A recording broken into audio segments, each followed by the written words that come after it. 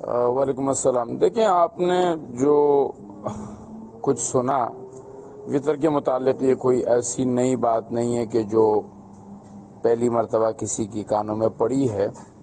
आपके कान में पहली मरतबा पड़ी है, लेकिन ये उम्मत का इस पर चौदह सदियों से आपस का इख्तलाफ चलता हुआ आ रहा है।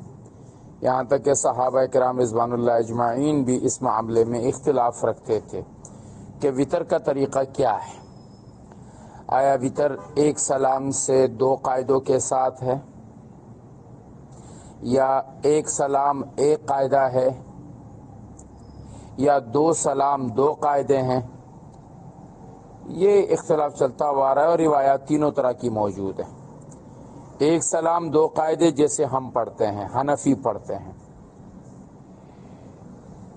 एक सलाम, एक कायदा, जैसे बाज लोगों का कौल है।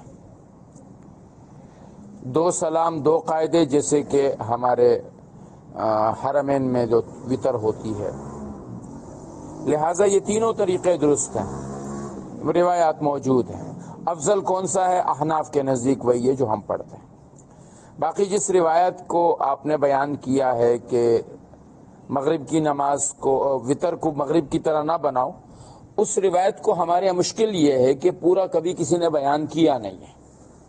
वो मैंने आपके सामने यहाँ नकल की है रिवायत कि आप सलाम का मकसूद क्या है?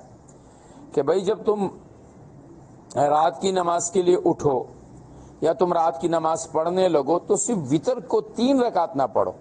पाँच पढ़ो या सात पढ़ो। उसके साथ कोई तहजद मिला के पढ़ो। मगरिब की तरह उसको सिर्फ़ तीन रकातें ना पढ़ो। कि भाई तीन रकात फ़र्ज़ पढ़ लिए? नहीं उसके साथ कुछ दो चार रकात अपने तहजद मिला के फिर वितर पढ़ो। इसका इससे कोई ताल्लुक ही नहीं है कि वितर कैसे पढ़ना है। नहीं वो इस बात के, की तरगीब है कि वितर को सिर्फ़ वितर ना पढ़ा जाए उसके साथ तहजद पढ़ी जाए। फिर इस पर तफसील है अब्दुल्ला मसूद रज़ी अब्दुल्ला उमर रज़ी जो है बाकायदा जो तरीका हमारा अहनाफ का है इसकी तरगीब दिया करते थे तो ये मामलात तो बहुत पुराने हैं आपकी नज़र में पहली मरतबा आए हैं और आप अगर हनफी मसलक से ताल्लुक़ रखती हैं तो आप बिला झिझक जिस तरीके से पढ़ रही हैं वैसे पढ़ते रहें यह तरीका भी अहादीस से साबित है